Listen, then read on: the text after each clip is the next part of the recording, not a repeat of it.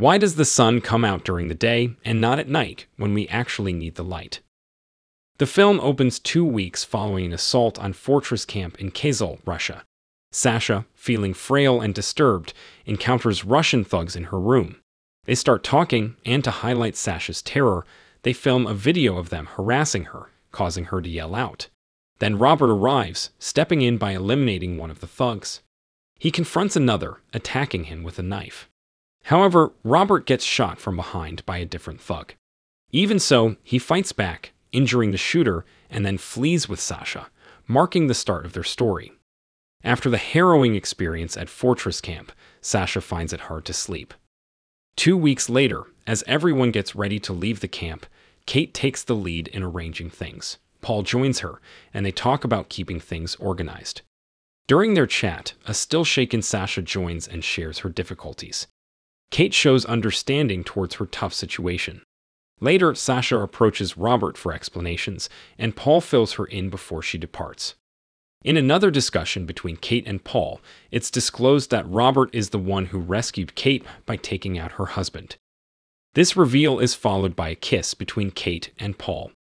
Elsewhere, a girl finds explosives in a box, prompting Kate to tell her to handle them with care and move them somewhere safer. In the medical area, Sasha thanks Robert, who's receiving treatment for a bullet wound. Robert apologizes for taking Sasha's husband's life and kisses her hand, hoping for forgiveness. A month prior, Frederick admitted defeat to Robert, asking for assistance to save his wife from the Russians. Robert agreed, but ended up shooting Frederick. Back in the medical area, Sasha contemplates Frederick's complex character, and Robert looks after her, hoping she'll eventually heal from her painful memories. She believes that everything will eventually be all right. In the story, Kate tells Paul that her mother is coming to the place where she found out about the attack, sharing her anxiety and her wish for Paul to be there with her. Paul, thrilled, looks forward to meeting Kate's mom. Ken heads to the airport to fetch Kate's mother, Carole. Carole compliments Ken, introduces him to her daughter Zoe, and they chat about Ken's time in the military and the recent perilous events at Fortress Camp during their ride. Upon their safe arrival at Fortress Camp, Carole, although a bit reassured, shows concern about the risks her daughter Kate is facing. She admires Kate greatly, praising her as the best.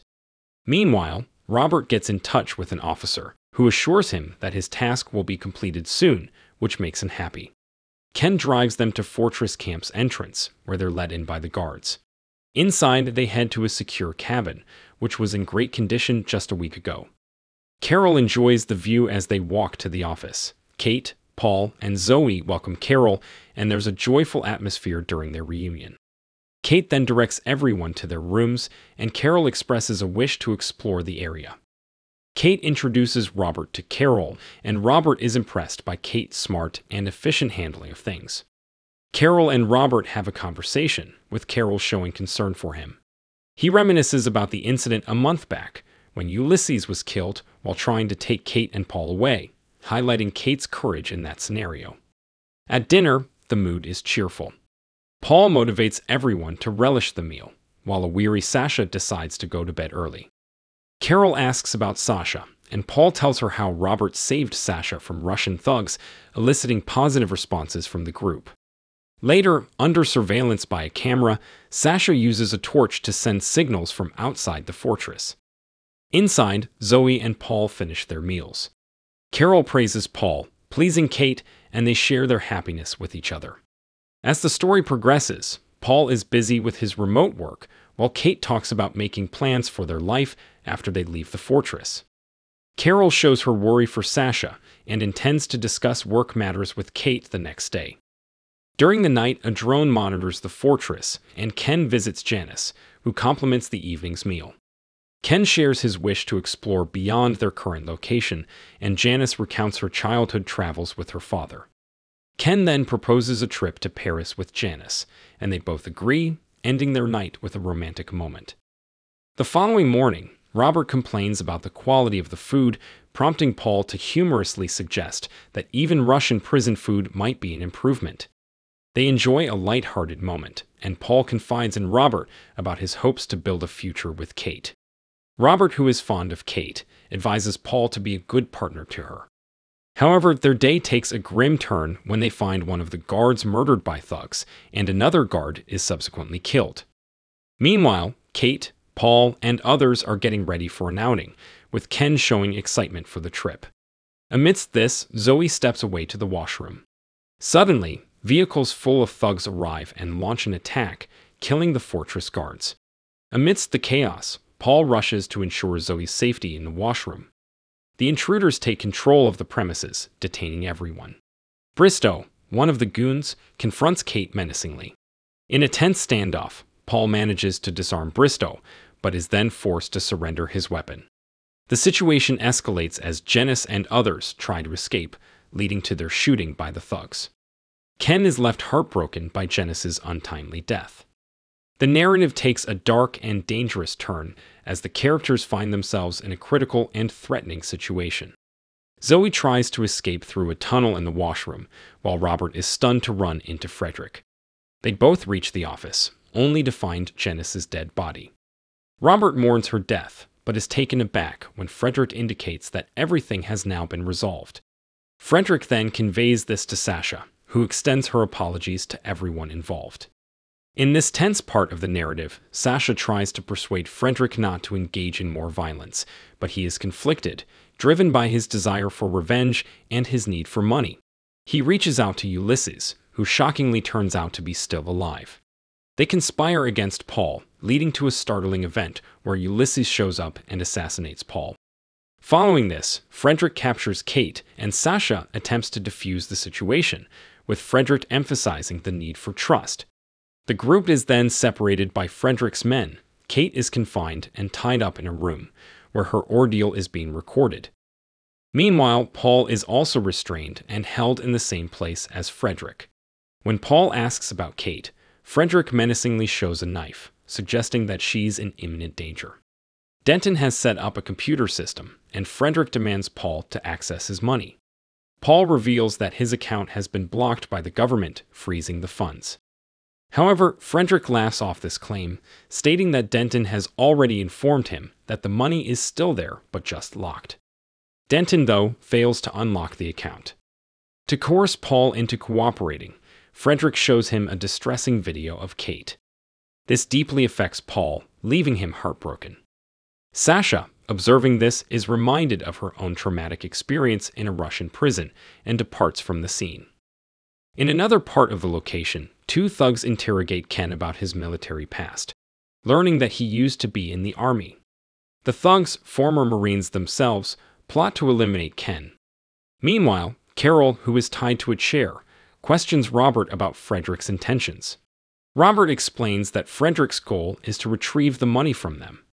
In this high stress situation, Paul eventually gives in and accesses his account, showing the funds. But Frederick, still unsatisfied, threatens Paul with a knife to his throat, demanding information about additional money. Paul maintains that the government must have seized the rest of the funds. Frederick then gives Paul a grave warning. If he's wrong about the money, his life is at risk, and he orders Paul to transfer the remaining funds. In this action packed segment, Paul cleverly creates a diversion to escape by pretending to need the bathroom, bringing a goon with him. Inside, he finds a hidden tunnel and vanishes, leaving the goon confused upon breaking into the bathroom and finding it empty. At the same time, Ken, who is being held by two goons, ingeniously uses a screw to free himself and manages to overpower the goons. In another part of the fortress, Paul is caught and sedated by a guard with a tranquilizer. However, Zoe comes to his rescue, knocking out the guard and hiding Paul. She then moves on to rescue Kate. Meanwhile, Kate, who is tied up near Ulysses, is approached by Bristow, who informs Ulysses that Frederick has summoned him. Bristow's sudden news shocks Ulysses. After leaving Ulysses, Bristow unexpectedly assaults and incapacitates Frederick, then turns his attention to Kate, making inappropriate remarks and disabling the camera. Elsewhere, Denton and Frederick notice a laptop showing active work. Denton points this out, prompting Frederick to investigate, while Denton is sent to check on Paul. Denton finds the washroom empty and, discovering a secret passage, emerges to find a goon knocked out. He revives the goon, and they start searching for Paul. When they return to Frederick, they find that Paul has escaped. Frederick, surprisingly unfazed, orders them to find Paul. Haunted by her past experiences in a Russian prison, Sasha roams outside, troubled by her memories of past torture. She continues forward, burdened by her traumatic past. Concurrently, Bristow unties Kate and makes inappropriate advances towards her. Sasha steps in just in time, subduing Bristow and rendering him unconscious. Zoe and Ken meet up, sharing updates on their respective situations. Zoe reveals her plan to save Kate, who is being held in the painting room. Ken, realizing the distance, spots a quad bike nearby. They decide to use it to head towards the location. However, as they near the vehicles, they are suddenly attacked by Goon. In this thrilling sequence, Ken and Zoe quickly mount the bike to escape with a Goon hot on their trail. They head into the forest where the Goon relentlessly chases them. Resourcefully, Zoe and Ken set up a trap using a rope, causing the Goon to fall. A struggle follows, culminating in Zoe shooting the Goon in the head, effectively neutralizing the danger. Ken reassures Zoe that her actions were necessary for their survival. Together, they continue to navigate the perilous environment. Meanwhile, Sasha expresses her remorse to Kate for trusting Frederick, who had promised to only take the money without harming anyone. Kate understands and they share a comforting embrace. Kate then starts to search Bristow's clothes for car keys, hoping to find a way out. In a tense standoff, Frederick confronts Robert with a gun, threatening Carole. Robert defends Carole, asserting her innocence. Frederick, driven by revenge, reveals his plan to kill Paul and Kate. A distraught Carole looks on as Frederick decides against killing Robert, but to torture him instead. Frederick admits that Robert was not just a friend, but also a mentor to him. He then releases Carole and takes her away. Paul, having regained consciousness, re enters the bathroom via the tunnel. After dealing with a goon, he continues on, armed. Sasha and Kate manage to get the key from Bristow, making their escape before Ulysses wakes up. However, Bristow catches up to them, and just as he's about to attack, Ulysses shoots him. Sasha then confronts Ulysses, who informs Frederick of the situation. Frederick commands that they be brought to him. Robert manages to free himself, leaving Denton unconscious. He encounters Paul and encourages him to keep moving while he heads in a different direction. Ulysses brings Sasha and Kate to the office, where Kate has a reunion with her mother, Carole. Sasha appeals to Frederick, pleading for the safety of everyone. Elsewhere, Ken and Zoe reach the painting house, finding it deserted except for Bristow's body. They take a bike and head towards the office.